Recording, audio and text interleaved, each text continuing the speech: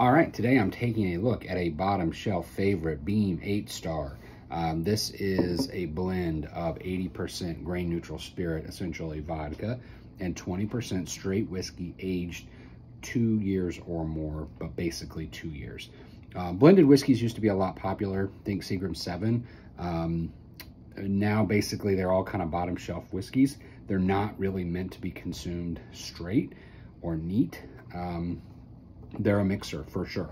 Uh, but let's take a look at it and see what we can smell and taste. So um, light vanilla, light oak, a um, little bit of fruit, but not too much. And maybe just kind of a touch of cinnamon spice, but again, not overwhelming. On the palate, it's sweet, it's smooth, it's supple, it's easy to drink. Um, you know, with a couple other component whiskeys, this could gain some complexity really quickly. But as it sits, it's simple, straightforward.